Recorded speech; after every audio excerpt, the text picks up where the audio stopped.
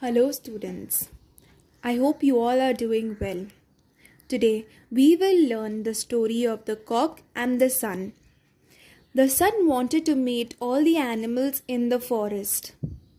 He called them and told them to gather around at six o'clock near the big rock to talk to them.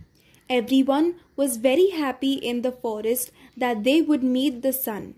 But some animals had their own views and never shield from expressing it.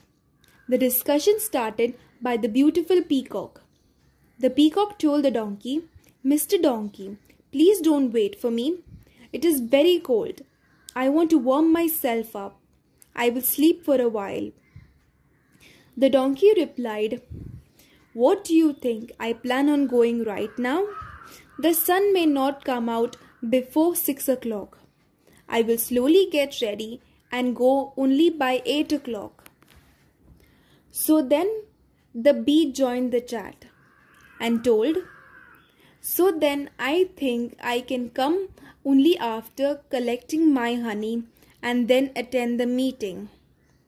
The parrot too joined in and said, Let me go to the field and collect some food grains first. There are so many fruits to be tasted. I'll also reach by 8 o'clock.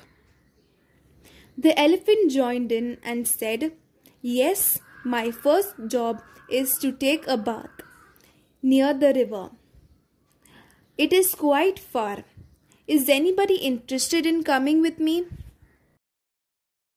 Then the lion came and said that I would rather go by myself. I am the king of the forest. Other animals will gather first. I will come next. Then the fox came and said that I am the chief minister. I will go with the king. Then the owl came and said that you think of who should go first.